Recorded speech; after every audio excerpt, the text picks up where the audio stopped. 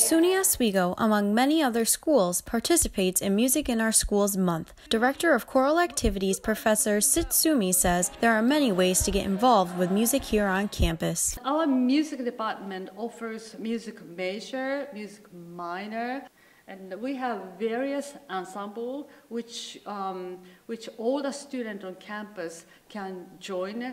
She says music provides a feeling of achievement as well as the opportunity for long lasting friendships. You can make very close friends. Music making is a collaboration and teamwork and helping each other. Therefore, you can build a strong bond.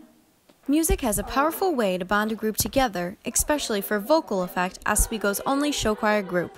President of the group, Dino Burgos says it's a rewarding experience. It's just a fun thing to do. Like everybody, I mean, you just meet all, ty- um, all kinds of people and you just find some way to connect with other people. Second year member Lexi Bruning shares how music has been her rock since an early age. Um, it's actually helped me find myself in a lot of different ways. Just being able to sing and being with people who enjoyed singing as much as I do and performing. It was a really rewarding experience, and I'm so glad I found it. Music has a way of reaching people, and music in our schools makes that possible.